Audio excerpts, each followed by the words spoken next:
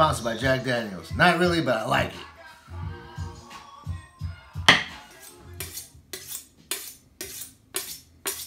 So over here we have uh, chuck roast. I'm gonna cut it in chunks and strips right now so we could uh, get it ready for our grinder. I don't know the fat to uh, meat ratio on this. It's a little fatty and I don't want to waste any of it because shit, I want a fatty burger. So I'm just cutting it into little strips so that I could feed it through the grinder. Over here I have the attachments for the KitchenAid. I put them all in the freezer overnight, keeping this cold. When you process the meat, it'll help it maintain a cool temperature. So you don't want you don't want anything hot on it. Was there. I don't like reading instructions. It's not for me. We have two dies that are frozen together. Two sizes for this one, a smaller one and a large one. And uh, I think I'm gonna use the large one for this hamburger. There.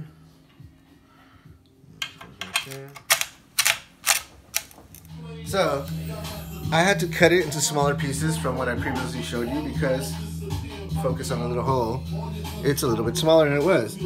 So, I cut it and now let's try it out. And let's see how it goes.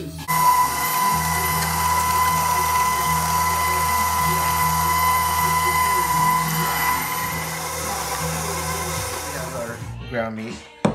We're gonna incorporate it with these wonderful ingredients. A little jack, a little olive oil, a little pepper. I had fresh ground pepper, but I don't know where it went, so we're just using this right now. A little garlic salt, just to get a little flavor, and I small dice some onions. The onions first. Uh, boom.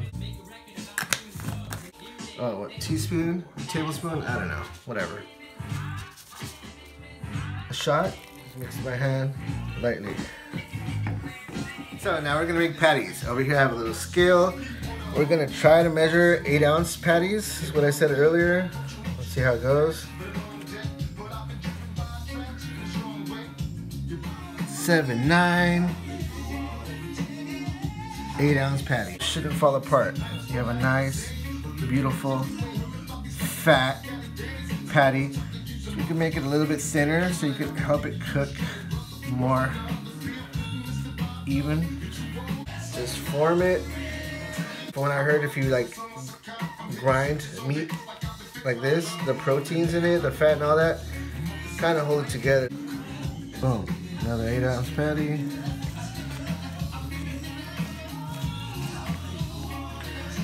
They're looking really fucking good.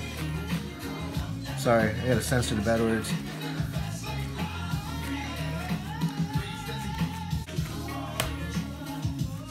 Nice. Okay, so previously we had three eight ounce patties, but then we decided to make it into more like smaller size because we have kids here in the house. So these are four ounces. We did math. We said like four, four, four. These are like five to six. You can see we have the garnishes and everything ready for the patties. So you just boom, land it on there. Throw a little mayonnaise, a little mustard, ketchup, whatever you want.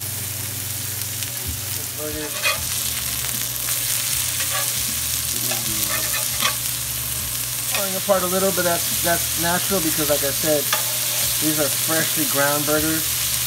So it's not like the ones you get at the market that are just been ground and packed and all that. These burgers are juicy. They'll, they'll break down a little bit. They'll melt in your mouth. And I'm gonna put a little lid on it already. Cook it through a little bit. And there you go. We're gonna cook it about medium, medium well. We don't like no well done burgers. We don't like hockey pucks. We just grounded everything here so we know that it's not, you know, there's no bacteria or anything in it. When you get it from a supermarket, the ground beef, you don't know what's been through, how it's been processed.